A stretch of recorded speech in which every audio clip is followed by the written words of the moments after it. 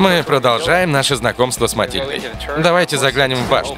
Основное внимание уделим вооружению Матильды. 40-миллиметровой пушке и спаренному пулемету. Сверху два люка. Люк заряжающего прямоугольный и небольшой. Люк командира чуть побольше. Люки, как вы видите, поддерживаются телескопическими упорами, что позволяет очень легко их открывать. Итак, сейчас я заберусь внутрь. Посмотрим, насколько мне там будет удобно. И будет ли вообще.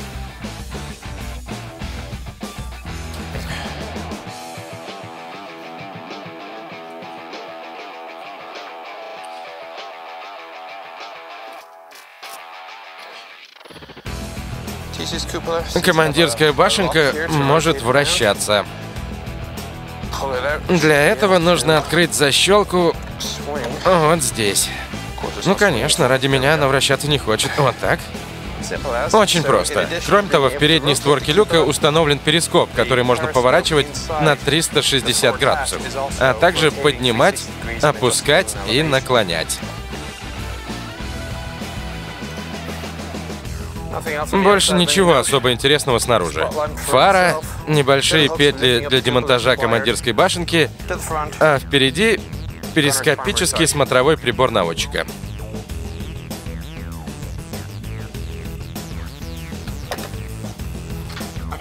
Это максимальное расстояние, на которое я могу опуститься, сидя на месте командира.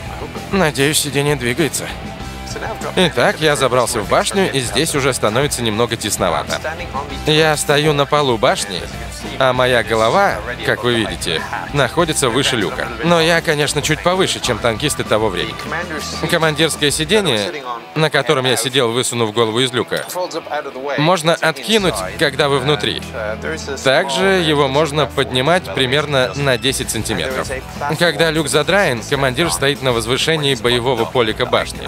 Возвышение высотой около 7 сантиметров. Я думаю, оно здесь для того, чтобы танкисты того времени как правило, невысокого роста, могли смотреть в перископ.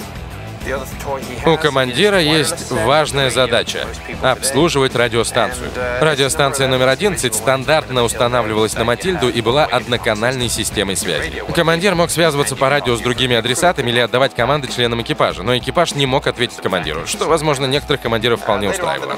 Позже на Матильду устанавливалась радиостанция номер 19, широко использовавшаяся британцами в конце войны. Она обеспечивала как двустороннюю связь с экипажем, так и с другими танками. Много Многофункциональная панель системы внутренней связи находится слева от командира. О рабочем месте командира мы рассказали, теперь обратим внимание на место наводчика. Итак, место наводчика. Он, конечно, располагался перед командиром. Опять же, тесновато. Похоже, что высота сидения регулируется с помощью педали, но она, кажется, не работает. Так что я останусь в таком положении. Есть гидравлические и ручной поворотные механизмы башни. Ручное управление простое. Берете за рукоятку и крутите ее туда или сюда, как и на любом танке с такими рукоятками. Ну, или на большинстве из них. Гидравлический поворотный механизм работает при запущенном двигателе. Здесь пневматическая система запуска насоса. Наводчик выбирал ручное или гидравлическое управление. Нужно было потянуть за ручку, чтобы открыть запорный механизм, и затем поворачивать рукоятку налево или направо. Здесь примерно 5 градусов свободного хода, прежде чем башня начнет вращаться. Башня вращается с максимальной скоростью в 20 градусов в секунду. Полный оборот занимает 18 секунд. Минимальная скорость поворота — четверть градуса в секунду, и на полный оборот уйдет, конечно, много времени. Если наводчик хотел использовать гидравлический привод, нужно было повысить давление в рекуператоре. Что интересно, башню можно зафиксировать в нужном положении, заблокировав поворотный механизм. Если случилось так, что танк подбили, и наводчику нужно покинуть машину, он поворачивает ручку и блокирует башню независимо от того, работает ли двигатель, и начинает выбираться. А если двигатель не запущен и положение башни не позволяет мехводу быстро выбраться из танка, мехводу нужно было запустить двигатель, повернуть башню в удобное для него положение, затем остановить двигатель и покинуть танк. Не очень-то удобно. Сегодня наводчику перед тем, как выбраться самому, необходимо убедиться, что башня повернута в нужное положение. И мехвод тоже может покинуть танк. С подъемным механизмом орудия немного проще. Слева система блокировки подъемного механизма. Нужно потянуть за рычаг, и орудие разблокируется. Очень просто. Здесь нет приводов наводки. Это плечевой упор. Прижимаете плечо к орудию, смотрите в прицел и спокойно наводитесь. И, конечно, используйте ручной или гидравлический поворот башни. Вот так наводчик прицеливался.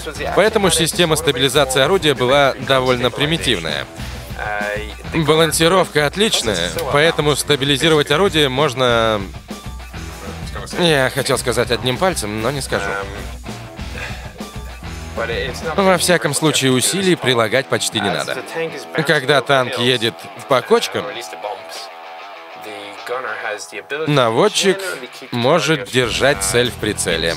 Это, конечно, не полная стабилизация, поэтому никто не ждал, что можно попасть в цель на ходу с большого расстояния. Но в ближнем бою шансы на это были довольно высоки. С приводами наводки это было почти невозможно. Конечно, потом пушки становились больше и больше, и использовать такую систему наведения стало невозможно. Шестифунтовые пушки были последними, для которых она применялась. Двухфунтовая пушка калибра 40 мм. У британцев своя уникальная система. Два фунта — это вес снаряда. В то время это было одно из лучших противотанковых орудий. Наравне с итальянской 47 миллиметровой пушкой. Судя по казенной части, снаряд не очень большой. Проблемой было то, что стреляла эта пушка только бронебойными снарядами. Существовала версия трехдюймовой пушки для сопровождения пехоты, но она поначалу стреляла лишь дымовыми снарядами. Осколочно-фугасные снаряды для 40-миллиметровой пушки, конечно, существовали, но танкистам их обычно не выдавали. Во всяком случае, я слышал, что стрельба осколочно-фугасными снарядами считалась заботой артиллерии, поэтому фугасы выдавались артиллеристам для ведения огня из двухфунтового буксируемого противотанкового орудия. А вот пехотный танк, задача которого вести огонь по живой силе противника, наоборот, имел только бронебойные снаряды. Так что фактически Матильда стреляла в пехотинцев очень большими пулями. Конечно, против танков бронебойные снаряды были эффективны. Хоть это и была не основная задача Матильды, она довольно неплохо разбиралась с танками противника. Справа пулемет Биса калибра 7,92, необычный для британцев калибр, который применялся в основном в восточноевропейских странах. Германия также им пользовалась. Королевские танковые войска применяли этот калибр на протяжении всей войны. Углы вертикального наведения орудия весьма неплохие. Я не могу поднять орудие еще выше, потому что нога мешает. Но зато вниз оно опускается аж на 18 градусов. Такие углы вертикального наведения позволяли вести огонь по холмам или по пехоте противника с очень близкого расстояния. Для общего обзора у наводчика есть перископ, который можно вращать и регулировать по высоте. Для прицеливания использовался двухкратный телескопический прицел с простейшей прицельной сеткой. Это перекрестие с несколькими поперечными засечками справа и слева. Но шкалы углов места цели нет, так что вы просто стреляете в цель и все. Стреляете, определяете, откуда вылетел кусок земли после попадания 40-миллиметрового снаряда, если, конечно, сможете его разглядеть, а потом стреляйте снова. Для ведения огня есть две рукоятки пистолетного типа. Левая рука наводчика на поворотном механизме, правая на рукоятке. Левая рукоятка для стрельбы из главного орудия. Это обычный рычаг, соединенный с системой открытия огня.